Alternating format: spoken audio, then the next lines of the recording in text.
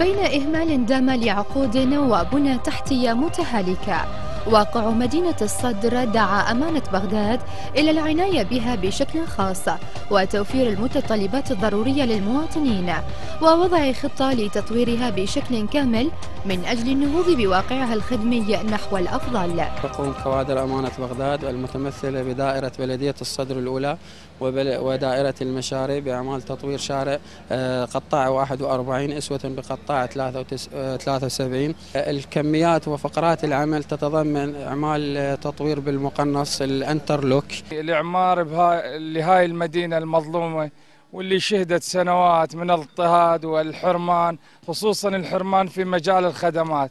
فالحقيقة أنه لأول مرة نشهد هكذا بناء وهكذا تعمير. وإحنا وياهم إن شاء الله يد بيد وذراع بذراع على إزالة التجاوزات وإزالة العقبات اللي يعني يظهرون الوجه الحضاري لابناء هاي المدينة المظلومة.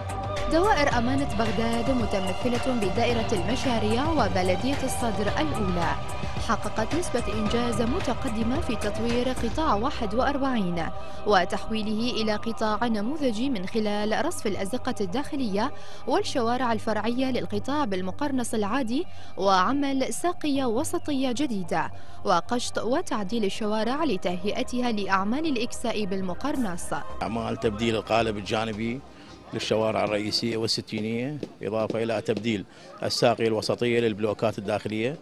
وكذلك يشمل العمل أعمال قشط الشوارع الداخلية للبلوكات مع عملية الإكساء. ومثل ما تلاحظون هنالك أعمال لتطبيق المقرنص السمنتي لأعمال البلوكات الداخلية داخل القطاع.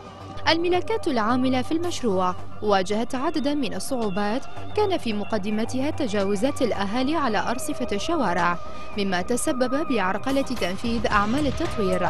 من جانب آخر تعاون المواطنون مع ملاكات الأمانة من خلال إزالتهم للتجاوزات ليسمحوا باستمرار الأعمال الخدمية.